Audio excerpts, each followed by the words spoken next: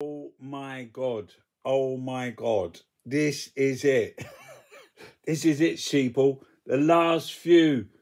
Issue number 14 of the UK's number one zine, We're Fucked. And it's a 2024 election special.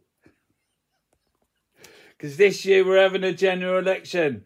Don't vote Tory. Look at that there. I still we still hate Thatcher. Oh, this has got page. Uh, it's 64 pages. It's about corruption. It's about don't vote Tory. 30p off. Look at that there.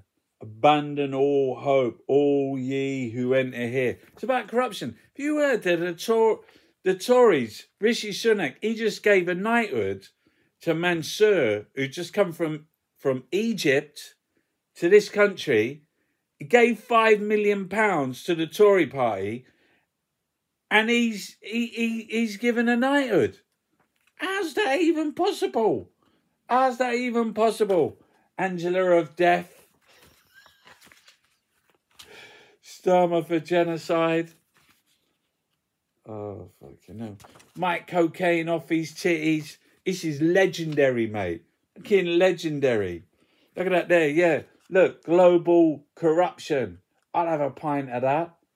The guy's as corrupt. The whole of politics is just corrupt.